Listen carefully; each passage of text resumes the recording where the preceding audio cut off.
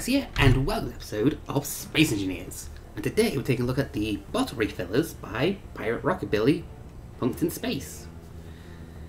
So, how about we go take a look at them? Because I've got one here, one there, we've got another set over there. Maybe show you that they need a connection. I think. Should do. Anyway, this was mainly made to make it easier to get to your tanks when they're being refilled. Because you know, they'll get taken off into the oxygen generators or whatever to be refilled. But these will bypass that. Yeah. So anyway, how about I show you? Yeah, this is the oxygen, that's hydrogen. Might As well, let's stick an oxygen one in here. You see, not being refilled. And a hydrogen in there.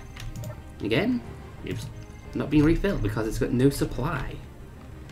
Meaning, you have to connect these. Uh-huh. Alrighty then. Isn't this meant to generate unlimited? okay, so they might be messing up here. Let's just get some ice. And ice. Bunk, bunk, bunk. Spawn. Move the way a bit. Yeah, drop. Collect. And now, e bunk, bunk. We'll go into that one. They'll go into this one.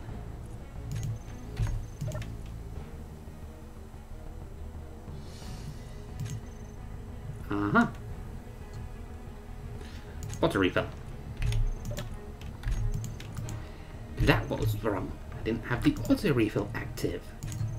Neat. Here we go. Let's check these ones. Auto refill. Auto refill. Put to 60. 200. I guess they came some. Hmm. oh, it also might be because it's got an open port to the air. That's why it's also got it. Huh. Get two oxygen tanks in here. So yeah, this is an easier way to get to your tanks when you're refilling them. Now, I would recommend a different model than the connectors, because it may get confusing for some people who don't know the mod's there. Say you join a server and you don't know this mod's installed, you might get a little confused, especially if you try attaching a ship to it.